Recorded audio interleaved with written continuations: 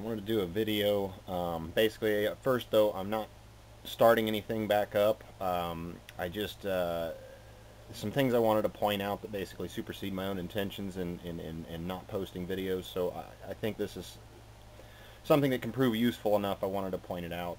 Um, and also because I did feel a little bit bad still that uh, you know the numbers were low for the Radio Shack transformer and some of the other ones, and I, I wanted to see if I could improve that for people that had uh, tried some of what I suggested.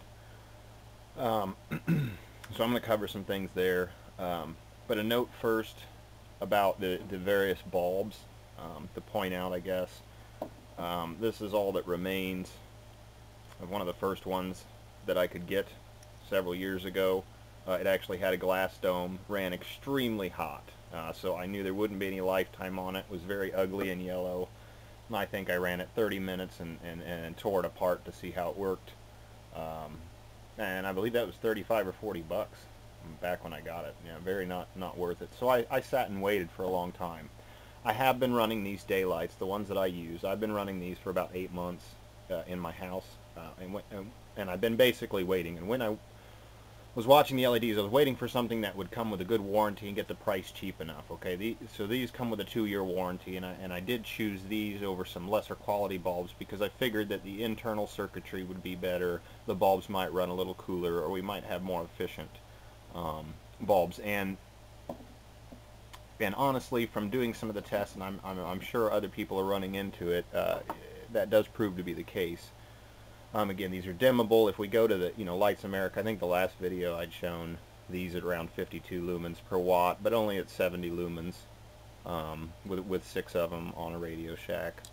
And, and, that was about as bright as I could get them, but, but I noted these were very sensitive, okay? And the, and the circuits in these are just, well, we can have issues with them. I don't know if we're, we're, they're best or in terms of efficiency for what we're doing. Um, and, and, again, I think on AC, you know, if they run really hot, that's what's going to kill the LEDs.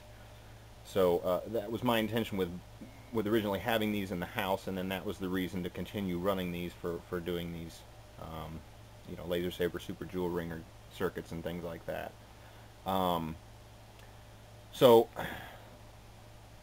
to get on then, what I'm going to do, this is basically going to be a patch basically or a modification to anybody that had purchased the uh, uh, Utilitech bulbs, the 7.5 watts that I'd recommended, uh, the, the, dimmables, um, either in daylight or warm white. We're going to be using the daylights.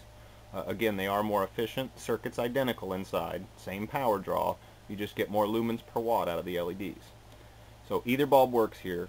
This is with the Radio Shack 12 volt transformer that I'd recommended. I, I, this, this tuning that I'm going to do here and show is specific to this bulb and this transformer and if you use other transformer designs, it will vary, okay? So um, this is just to try to, you know, like I said, try to provide something better and more usable and viable for the people that did uh, get some of what I'd recommended there before. Um, so on the circuit itself, cover that first. The circuit itself, I'm showing still the diode on the positive. Uh, I do not have a potentiometer okay? And if, if, if you want to do what I'm saying here this, these are going to be very specific values. This is 330 ohms okay? You don't need a potentiometer in there. That's a 3055 it was brand new to start the circuit. I have rechecked it with another brand new one so you will get the exact same results. The Radio Shack 12 volt 3 amp transformer 12 volt to 120 we're running across the 12 volt side again I've tested in numerous cases the 6 volt line is just not as efficient in terms of lumens per watt so we're running across the 12 volt side and I've tuned the circuit for that. Um, and then our output basically is going to go straight to the bulb. And what we're going to do is we're going to mod the bulb itself to get the extra efficiency. Since this circuit, since this is not tunable, you know, like some of the other transformers that transformers that I said, so we, we need to go into the bulb, and that was what I tried to do. So I'll give a little little coverage on how to do that. Um, the first thing with the bulb here is what you want to do is take a, a knife and try to get in behind between the plastic. Let's see if I can do it here. Between the plastic and the metal heatsink that is the housing. Let me try to get my knife started and then I'll show you. And be very careful when you do this. Okay. There we go. So I've got my knife tucked in behind there. Just enough to go down. And then all we do is hopefully just snap this dude off. There we go. I believe I have it. One more little tug. Okay. And then it pops off, okay? And then that exposes the LEDs. This is the LEDs that are inside of same number, warm, white, or daylight, doesn't matter. Um, so I want to note too, if you're uncomfortable with circuits or electronics, you can stop here with the patch or the mods. This will improve about 50 lumens on an AC type bulb, um, or you know, will will and then in terms of what we're doing here, this will add you, you know, uh, five or seven lumens per watt, popping the dome off. Uh, very easy to do. So if you're uncomfortable with circuits, you can stop there. Um, but you know, to get the maximum efficiency, we need, need to go ahead and keep going. Uh, the next step that you're going to do then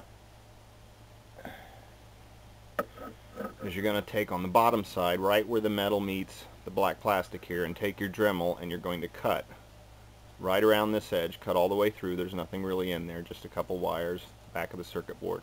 Cut that all the way through. And then that's basically what I've done there. Okay, and then when you cut it through, then here's the circuit board that's inside would be inside the bulb here. And you need to unsolder these two wires. And then you can just slide this whole thing out. And then I clip the wires off the base here okay for the demonstration to mess with the circuit. These are very nice circuits that are in these okay?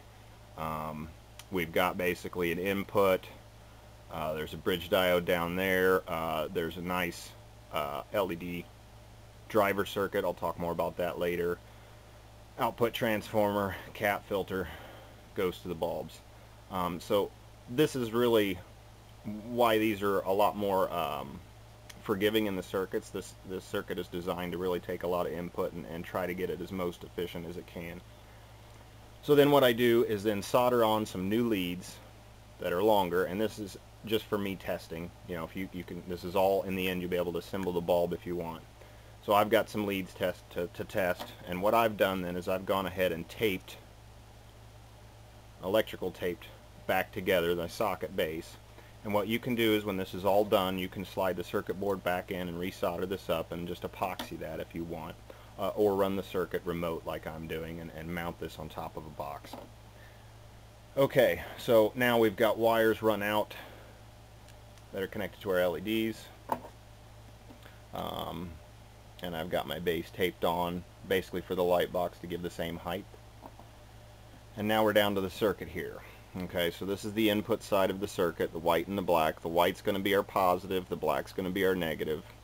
And you can see a lot of components here. Uh, the LED driver um, is an SSL uh, 4101T um, very nice. Those are about four bucks for just that chip right there. And you know you add up how many LEDs that are in there uh, we, can't buy these parts and not, not to mention the heat sink. Um, yeah we can't we can't buy these parts individually for this. Uh, but this driver uh, although it is directly driving the transformer here this circuit this chip here can actually drive up to 300 watts of LEDs if you're running a gate drive MOSFET here on its output. Um, and it does run in power factor corrected quasi-resonant flyback mode okay? And it also can pop in and out of power factor correction based on the input load. Um, and that's why we notice this running in a, in a um, anybody that's played with these notice a, a, low light period and a, and a high light state basically. It can be on in both ways and that's what you're, you're actually switching back and forth from a power factor corrected mode to a non-power factor corrected mode uh, in terms of what the circuit's doing and the feedback. Okay? Um, so this might work really well for a lot of other circuits. I think you could take the, the back end off this, like I said, MOSFET gate drive and, and, and drive a whole lot more LEDs, probably very efficiently. So then, first thing we're going to do here is right on the input we have a resistor here, and on the other side we have a resistor here. We're going to remove those. Set those there. They're about 22 ohms.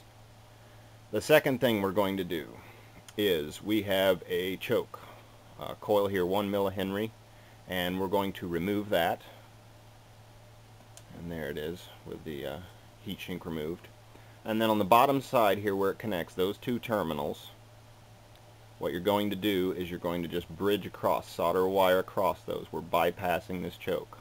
Um, and if anybody remembers some of the 1.1 videos of the coils, the SJRC 1.1 and 1.0 that were tunable, that you know where the wave was actually able to be shown, um, a little bit of ringing at the top. Yeah, the ringing is coming from this little choke right here. So uh, then we also have right after that a series electrolytic cap. We remove that. Okay, and we're going to replace that with a 1 microfarad electrolytic okay and then the next two steps here's the circuit here and what we do then is the is the last step or the last two steps is right across this bridge diode from here to here you're going to put another cap in parallel. What you're doing you're putting a cap in parallel with this 0.22 microfarad and we're going to add a 0.047 okay and then I have here already the 1 microfarad electrolytic. I'll show you this at the end. The 1 microfarad electrolytic is there and I have bridged across. You can see a little wire where the inductor went. And then in addition to the 1 microfarad electrolytic we're going to also put a 0.22 microfarad mylar film. Okay? And that again that goes you know right right there where you're going to replace this 2.2 with a 1 microfarad and then add the 0.22.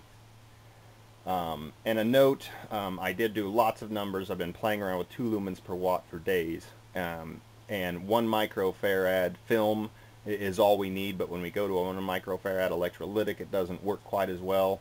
Um, so we're doing the 0.22 on here to kind of get some beneficial effects.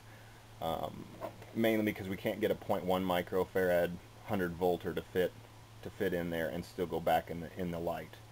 Um, so yeah, uh, I would do one microfarad electrolytic in replace of that, and then like I said, where it's soldered to, we're going to add a 0.22 film.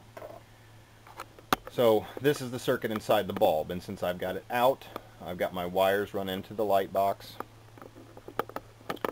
and bulb is sitting there. You can see the wires running directly to it. It's taped on and screwed on the base, so it's sitting at the exact same height, everything that it would be um, running on AC um, and, and, and my other tests so that I get similar results.